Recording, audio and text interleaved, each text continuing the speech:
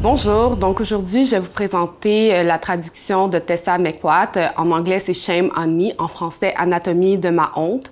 Donc c'est une auteure d'origine guyanaise, euh, canadienne, mais qui vit en Grande-Bretagne. Puis c'est un essai à l'intérieur duquel elle repense à son histoire, à l'histoire de son cœur, de son corps hybride, puis elle parle de toutes les parties de son corps, de la tête, de les fesses, euh, des os, du cul.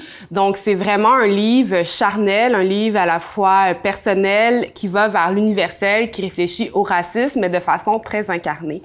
Donc euh, je vais lire un petit extrait peut-être pour mettre les choses en perspective.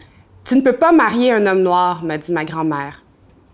J'ai arrêté d'engloutir le plat et je l'ai regardé. Est-ce que c'était ça que j'étais en train de faire? À ce moment-là, ce n'était pas tellement son racisme qui m'a horrifiée, mais plutôt l'idée qu'avoir un copain pouvait, d'une manière ou d'une autre, entraîner un mariage.